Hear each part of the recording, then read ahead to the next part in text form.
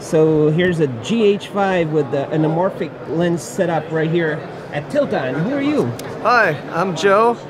Uh, I work over at uh, Tilta. I'm the creative director um, from the U.S.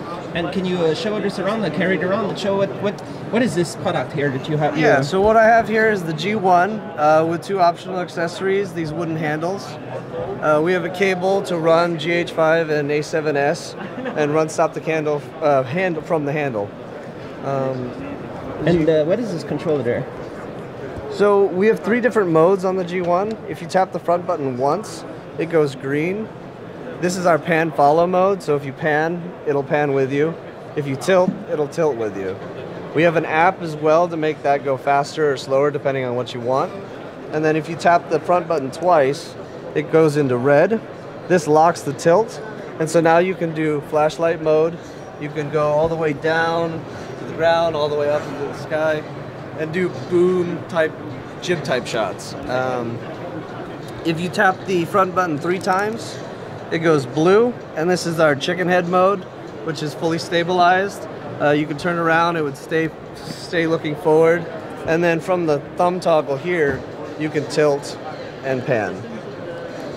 And it's the same uh, you have right there with the Sony, which uh, A7S? Yeah, so this one's rigged up with our Sony A7S and our new prototype uh, follow focus system for gimbals. Uh, as you so can this see, is your product right here yeah, also? so as you can see here, it's just attached by a hot shoe. Uh, the motor is right here, runs off a USB and then one 18650 battery here in the MDR. And then it's completely wireless to this hand unit. Nice. And you can pull focus. Can you just can like you carry it up and normal. show a bit how you would do that? Yeah, so you can pick it up, you can select your mode, uh, and then you can pull focus. Whoa. So that's a steady manual focus solution right here. Uh, wireless. Completely wireless. wireless. Uh, and uh, so what's special about this product? Well, how, how is this special in the industry? Well, on top of that, you can hand this. Normally, when you're doing gimbal work, you want to have someone off to the side uh, as a first AC pulling focus. And so you can do the same thing with this. You can give this off to your first AC, and then you can focus on just operating. Is there any way to get the HDMI cables out and still be steady? Um, If you want to use external kind of displays and stuff, what yeah, would you do? we we have different accessories for these rosettes because there's two standard rosettes, and we have this DC in and out here. So you can use the gimbal itself to power things like Limo boxes or PTAP boxes. As you can see here, we have an example where this cable is powering the camera from the gimbal itself. So you don't have to do it this way. We just wanted to show Does that make that's the camera possible. lighter? Can you take the battery out? And... Uh, I can't exactly take it out without removing it. Okay. Um, But I mean, this this could be a, a dummy battery. It is a dummy battery. Ah, it is a dummy Yeah. battery, and then so there's a basically- dummy battery getting power from the gimbal. From where? Where's the battery? The batteries are in here. There's four 18650 batteries right here. Could you even add more big batteries down here if you want, and have? Uh, no, there isn't room for additional power. Uh, we do have these handles over here that also contain the four batteries, and uh, you can get two of them for both sides, and that can be doubling the What's power. this product here? This is the exact same gimbal. But connected differently. Yeah, it's just showing that uh, this follow focus can be powered using this handle, and this handle is even more prototype than everything else. Uh, by the end of the month, we should have the toggle that's here on this handle as well, so you can control the gimbals, pan, tilt, roll, and uh, follow Can you focus. explain what this this anamorphic setup there? What do you what are what is in, how do you build this? Uh, well, the anamorphic lens here, that's uh, not Tilta's. That's just something that I like to do as a hobby.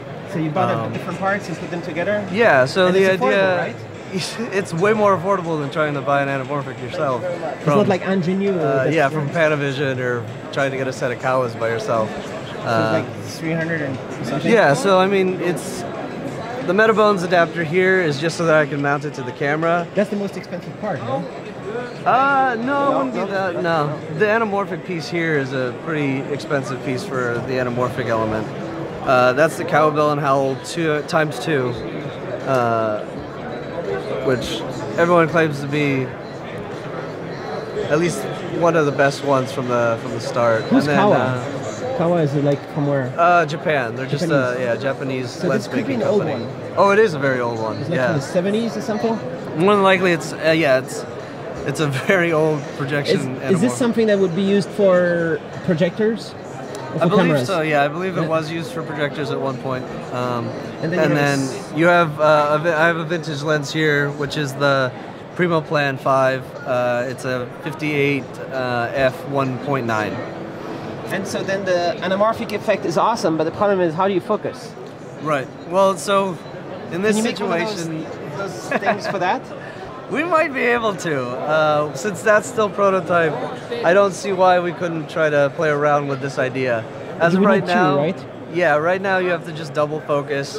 Uh, so what I usually do is I just set it to the minimum focus on both lenses, and then if you're tracking a subject, keep that subject that exact distance, and then you can walk around, do profile, do uh, tracking shots, orbiting around them. Because if it's dual, you have to focus twice.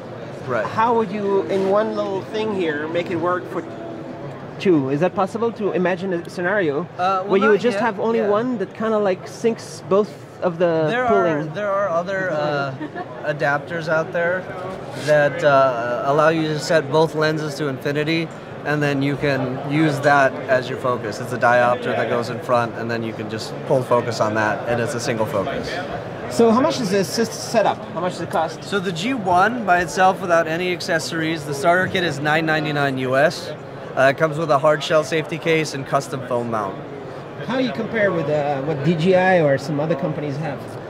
uh, well from the most part, people very excited about this. Yeah, we, we have a payload that's usually way higher than anybody else. Actually, right now, I think we're the highest payload uh, that you can get ab- right this moment. At this size, yeah, we, we can take it about three kilogram payload, uh, eight pounds ish. We've done a 5D Mark II with a 2470, had no problems. Uh, we've also done um, a 1DX with a, a small lens, I think a 14 to 24 Samyang, uh, no problems. The bigger and taller you go, and the longer you go with the camera and the lens, uh, it really isn't dependent on the weight. It's dependent on like the length. So the longer the camera, the heavier the glass, the more you have to push everything back, and then uh, that kind of gets too close to this motor. So uh, that's the limit in how big you can do. yeah, I think right here is a, is a good example of the length that you can achieve. Um, our motors are very strong, so you can force them to overcompensate. Uh, I wouldn't recommend doing that, but for the most part, this length is uh, is kind of maxing it out. Um, so it's not so much weight; it's it's mainly trying to find the balance of your lens and your camera. Where are the motors in a system like this? Just So there's three motors. There's one for the pan down here. There's one for the roll, which is up here, and then the tilt, which is up here. so that's three axis stabilization. Yep. And uh, how's the battery life? Because I've seen some of those systems that kind of like run out of battery pretty quickly. Yeah. So if you're not powering anything else, uh, there's four 18650 batteries in the handle, and that lasts about 10 hours. Ten hours. Yeah. That's plenty, right? Oh, yeah. That's Yeah. much more than a Sony camera. Oh, you yeah. can change the battery on this one Actually, yeah. times. When we were shooting our stuff, uh, the Sony camera on the gimbal, we switched the batteries out three times, and then the gimbal we didn't we didn't change at all. Uh, actually, I think that's why for this show we've decided to plug it into. Let's check some of the other stuff that uh, Tilta is doing. To this. So you don't only have small systems, you have pretty. What is this? So what you see there is uh, the Armor Man and our new Gravity. Let's go. Let's go. Let's find him. He's running too fast. So, so Tilta is uh, is it an old company? How how how long time have you been doing this kind of products? Um, Let's go around. The screw wasn't connecting to the, uh, to the mount again. Can you explain what's going on with this one? How many how many motors in this one? uh, same. Uh, three axis motors, uh, one for tilt, one for the pan, and then uh, one for the roll. He's just using um, the Armor Man, which is our stabilization system, to be able to lift something that heavy. Because obviously, when you're trying to use heavy rigs and heavy lenses like big anamorphics or big zooms, everything gets incredibly heavy. You have to also put a big battery on it. Uh, and power it for a long time, and then trying to carry that thing with your hands. Is that the same one that's over here or not? It's not the same, right? That is the exact same gimbal. Yeah? So it's the gimbal that's the same. That's just a bigger rig and a ring to hold it, and then uh, you have mounting options for our new. Let me try to catch him. So, it's, it's cool to have uh, to have these arms. There is that an innovation, or is it's been seen before? Yeah, I mean, uh, Dual arms on both sides like that. there are definitely a bunch of rigs out there. Um, I'd say that ours is probably the most compact one and maybe the coolest looking one. You have the coolest looking one. yeah. How much it cost that one? The, whole thing. Let's see. The gimbal, uh, that is version two, so I don't have a price yet on that because uh, it's still prototype. The Armor Man though is I'd have to let me see this. Okay, just checking over here while you check. Let me go by you here. One second.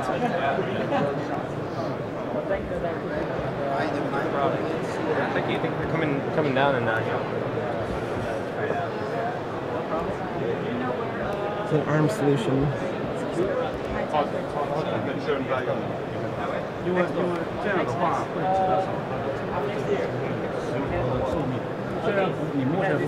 Yeah, yeah, I understand.